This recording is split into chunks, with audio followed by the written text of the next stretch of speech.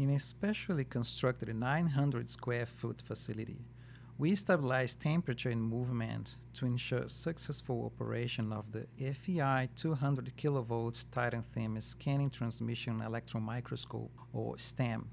One of only two Titans in the state of Michigan, it produces high resolution images at atomic scale. A thin 3 mm specimen support graded disc is seated inside a larger holder, which is used to insert the specimen inside a microscope. Samples must be extremely thin in order to show the atom stack and its composition. Using an electron beam smaller than an atom to create a digital image of an atom column, Titan enables us to see how atoms bond and the structure inside a sample. A tomography holder can be tilted to extreme angles to make a series of specimen images. Computer software assembles the images into a 3D object to better understand the relationship of structures inside the sample.